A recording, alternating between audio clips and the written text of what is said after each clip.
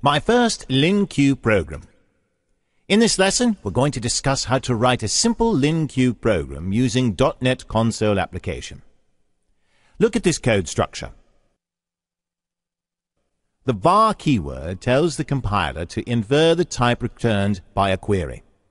When a LinQ to objects query is deferred, the sequence returned from a query expression is of a IEnumerable t type and is called a computation or result sequence.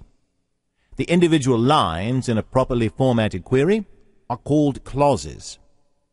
The select clause at the end of the query helps define the type returned by the query. A select clause is said to project a result. To see LinQ at work, we'll begin with a simple C-sharp 3.0 program that uses the standard query operators to process the contents of an array. Open a Visual Studio.NET 2008 console application.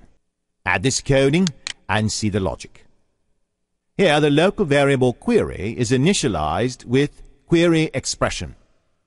This expression uses three of the standard query operators, where, order by, and select. The statements above are semantically identical to the following explicit syntax shown in C Sharp. This form of query is called a method-based query. The arguments to the where, order by, and select operators are called lambda expressions. They allow the standard query operators to be defined individually as methods and strung together using dot notation.